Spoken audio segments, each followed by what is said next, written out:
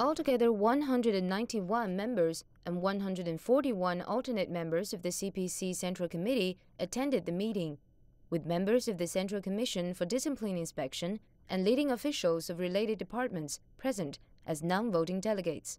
First on the agenda was the confirmation that the 19th National Congress of the CPC will be convened from October the 18th in Beijing.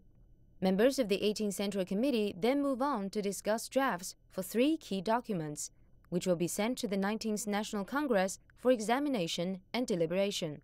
They are a report by the 18th Central Committee, a work report of the CPC Central Commission for Discipline Inspection, as well as an amendment to the CPC Constitution. All three were discussed and approved. The report by Central Committee is drafted by Political Bureau of the CPC and delivered by General Secretary Xi Jinping, also a member of the Politburo Standing Committee.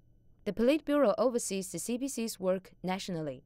The second document is the long anticipated work report from the Discipline Inspection Commission, which includes the achievements of China's anti corruption campaign and a list of 11 new alternate central commissioners. The draft amendment to the CPC Constitution is explained by Liu Yunshan, a member of the Standing Committee of Politburo. This will be the 17th amendment to the Constitution.